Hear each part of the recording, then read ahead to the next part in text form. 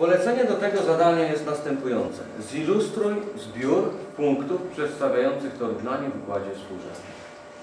Zrobimy to w czterech przypadkach, ponieważ wartość bezwzględna z x da nam dwa przypadki, bo tu jest 0 miejscem zerowym, z y podobnie 2, no to 2 i 2 to 4. Jak te przypadki teraz zobaczyć? Już je nie, nie zaznaczamy ich na osi liczbowej, tylko w układzie współrzędnym. Pierwszy przypadek to będzie pierwsza ćwiartka. Tu są x większe równe 0, y większe równe 0. Tutaj x ujemne, y większe równe 0. Równość dodaję tam, gdzie jest znak większy. Tu są y, x i y ujemne. Tu są x większe równe 0 i y ujemne. Przypadek pierwszy, czyli jesteśmy, nawet mogę sobie napisać w pierwszej ćwiartce.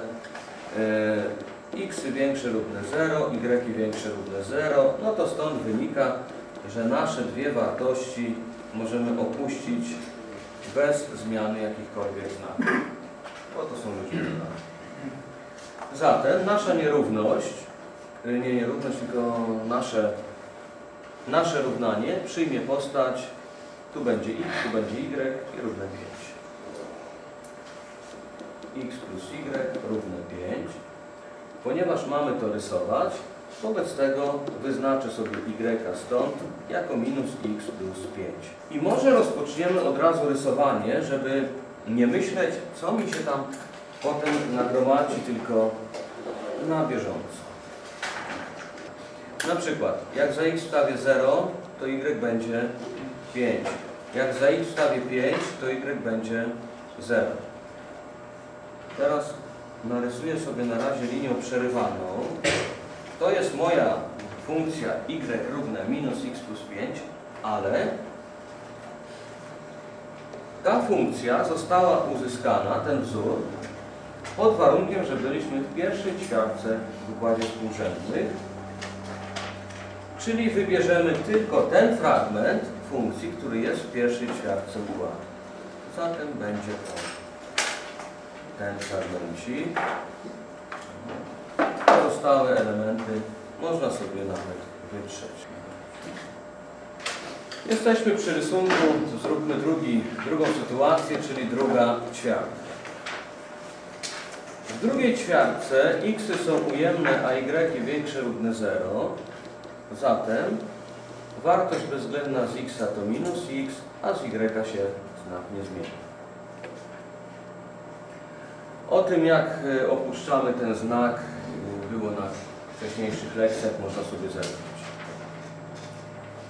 Zatem mamy minus x plus y równa się 5, czyli y równa się x plus 5.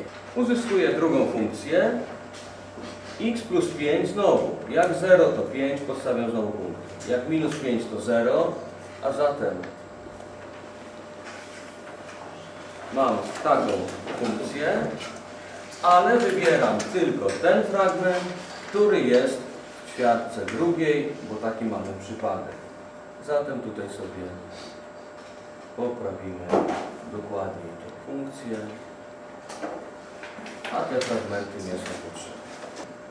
Zatem postępując analogicznie, trzeci przypadek, czyli trzecia ćwiartka, x ujemne, y ujemne, minus x minus y równe 5, czyli y minus x minus 5. Postępując analogicznie uzyskamy taki fragment i przypadek czwarty tutaj napiszę x są większe lub równe 0, y ujemne, czyli otrzymamy po podstawieniu x minus y równe 5, czyli y równe x minus 5. Rysując to w sposób analogiczny uzyskujemy ten. Naszą odpowiedzią będzie taki Fagrad.